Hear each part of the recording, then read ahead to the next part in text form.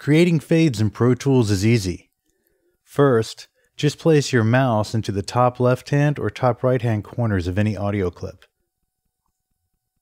When you do this, you'll see that your cursor becomes a little square icon.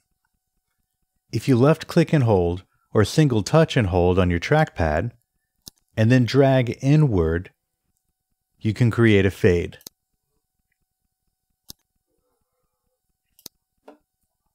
A fade does one or two things. It either lowers the sound all the way and gradually cascades it up,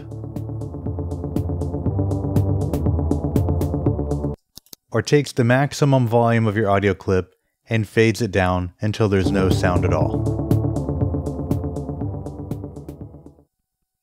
You can delete a fade by taking your grabber tool and placing it in the bottom half of where your fade is indicated and clicking one time. Once your fade is highlighted, just hit the delete key and you can delete any fade. You can also create fades with a keyboard shortcut.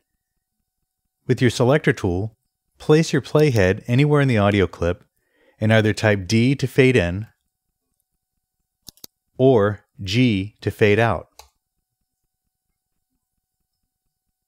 Any of these fades can be resized once they've been made. If you place your cursor into the inside of the fade, right along the edge of the fade line, you'll see an inward facing bracket. If you left click and hold, you can then drag the fade to make it shorter or make it longer.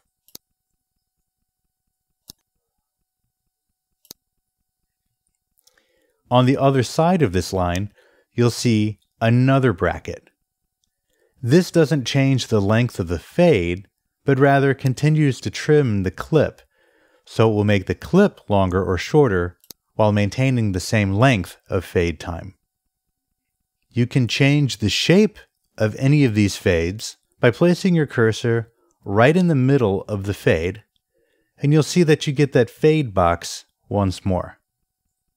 If you left click and hold and drag either left or right, you can change the shape or curve of the fade. The default fade shape for Pro Tools is a linear fade. This is represented by this diagonal line coming from the bottom of this box all the way to the top corner of the fade. What shape you use is largely preferential and aesthetic, but generally speaking, a logarithmic fade, that's the shape of the fade that you're seeing right here, is a little bit better for editing human speech, as the beginnings of our words often have this shape when we're creating sound with our mouths. In addition to fading in or fading out sound, you can also crossfade sound. Here I have a clip with some music and a clip of the ocean. If I place these two clips next to each other, it would sound like this.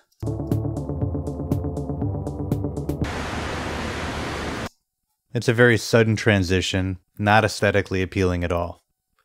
If I go to the bottom left hand or bottom right hand corners of any of these touching clips, we'll see that I get a new icon.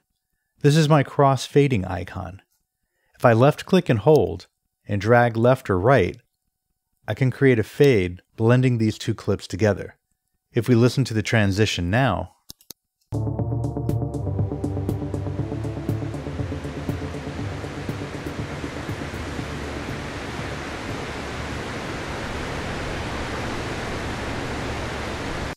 we can now hear that the transition is significantly smoother and less caustic. You can adjust the properties of fades in one other way. If I double click with my grabber tool on the bottom of any of these fades, it'll open up a fade dialog box. When I do this, I see another way that I can change the shape of the fade by clicking and dragging here in this line and this behavior is largely the same as we did earlier by clicking in the middle of a box and dragging left and right. We also have other options for affecting the shape of the curve by choosing equal power, equal gain, or choosing different shapes. Again, a lot of this is largely aesthetic, but I do have one recommendation for crossfading. If you're crossfading two clips of audio of the same content, maybe it's ambient sound that you're mixing together or anything like that, using this crossfade with a linear shape, you can potentially hear a slight dip in volume right in the middle of the crossfade.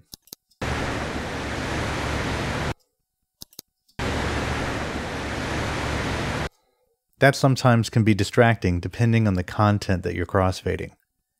To circumvent this, double click with your grabber tool to open up the fade dialog box and choose equal power. This will make sure that there's no dip in volume when the crossfade is happening.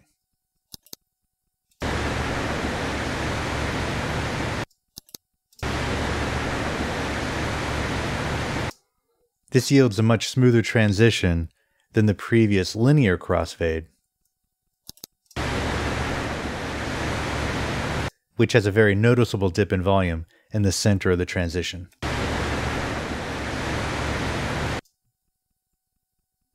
You can also crossfade across tracks.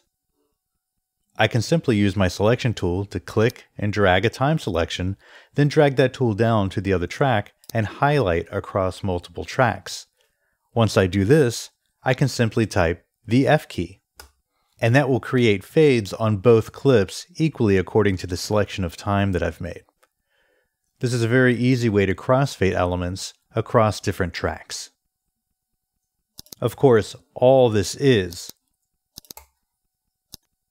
are two fades that we could have drawn out manually as well.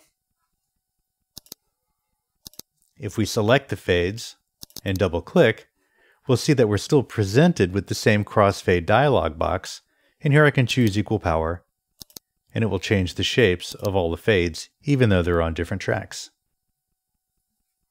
The examples we've been seeing have been largely aesthetic, fading in music, fading in or out ambient sound. But you can use fades for correcting dialogue as well. In this example, uh, morally, intellectually, and otherwise. If I wanted to get rid of the uh and leave only morally, I could simply trim that away. Morally, intellectually, and otherwise. But we'll notice that the M starts somewhat unnaturally. It just begins, and you can even hear a little bit of a click in the beginning. Morally, intellectually. Because this is sound just starting out of the blue, and that's not how it happens in nature. So if I wanted to ease this transition, I could use a small fade. Now this is different than an aesthetic fade. This is not the kind of fade that I want to hear happening. I just want to reshape the word, or specifically reshape the letter M in the word, so that it cascades up as naturally as it would if I was saying it. So here, just a small fade can help do that morally, intellectually, and otherwise.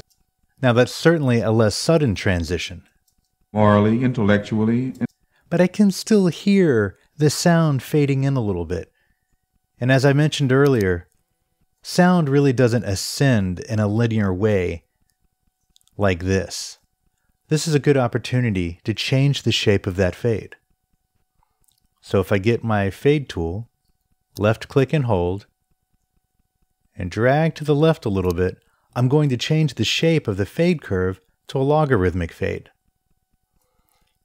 And when we listen to this now, morally, intellectually, and otherwise, and then M, morally, cascades in the same natural way it would as if you were saying it, only now we don't have the um to worry about.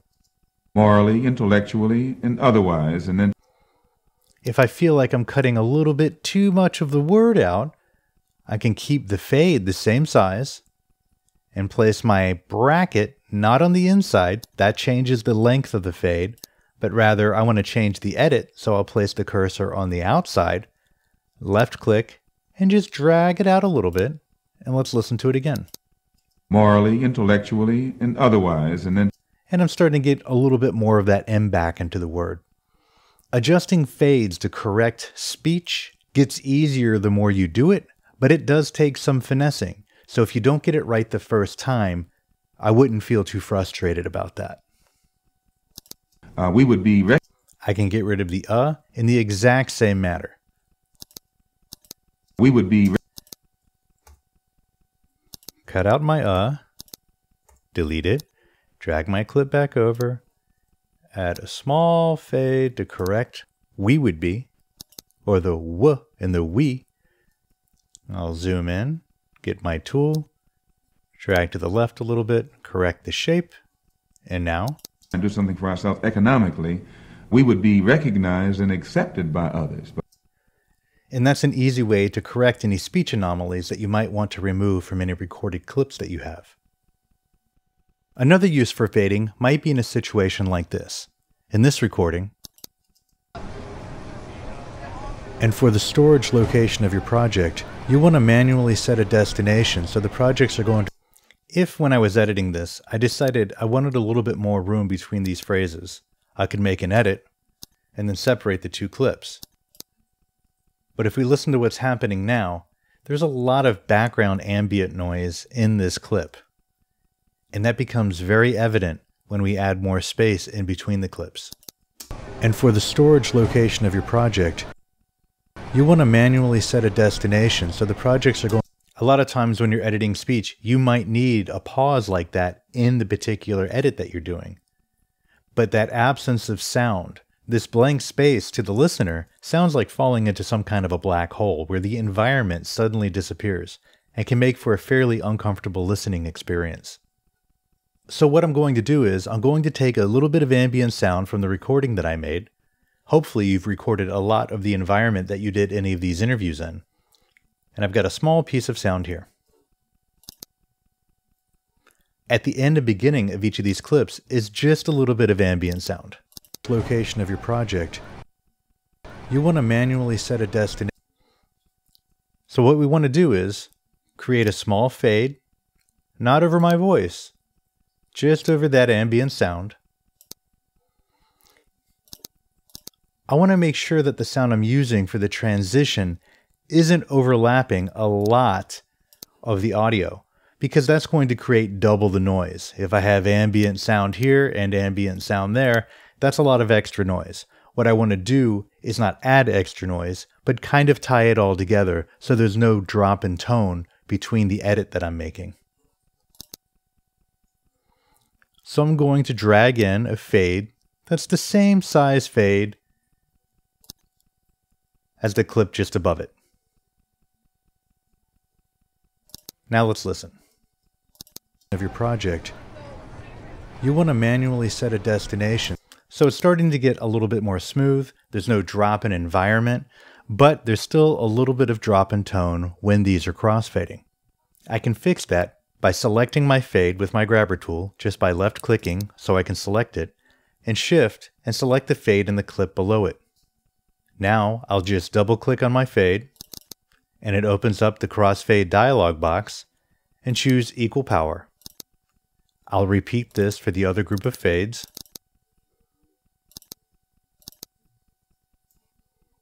And let's listen to our transition.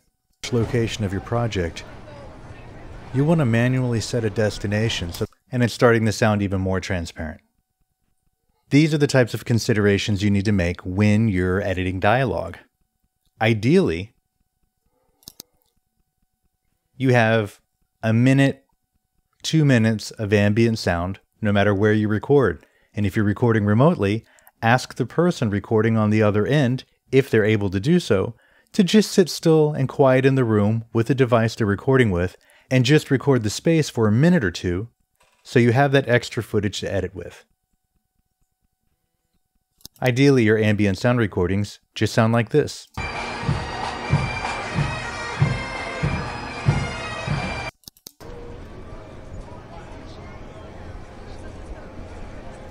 They're just the environment. It could be the hum of a refrigerator, it could be the blowing of an air conditioner, it could be people talking in the background. Try to get as much of it as you can, and it can really help when you're editing dialogue. And that's how you can fade and crossfade in Pro Tools.